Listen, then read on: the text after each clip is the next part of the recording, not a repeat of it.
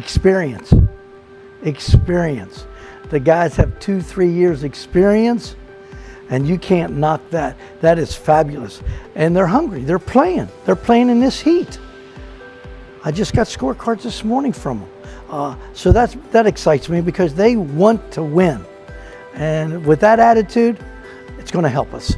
Uh, and they've taken the new kids on, the new two new boys, you know, that have really helped. So uh, sometimes you become complacent and think you're going to go no matter what. So I think the attitude has got to be there. And as of right now, it looks great. I got boys turning in everything on time, up going up to the course and turning scores into me. Uh, last year we didn't have that all the time. So uh, I think the attitude's changed a lot, uh, basically because they were freshmen, they went to the Nationals. They were sophomores last year, went to the Nationals, and now they're juniors. So they're a little older, a little more mature, and they're hungrier. Uh, that being there and that being said, they want to get back. They're hungry. If you looked at the scorecards that they're turning into me right now, we're ready.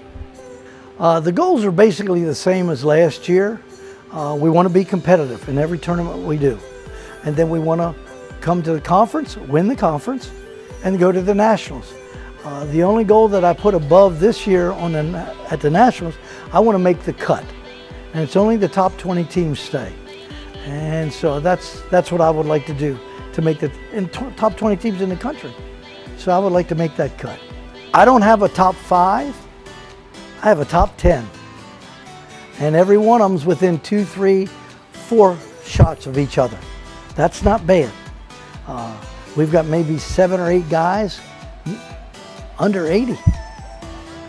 So it says pretty good for our program.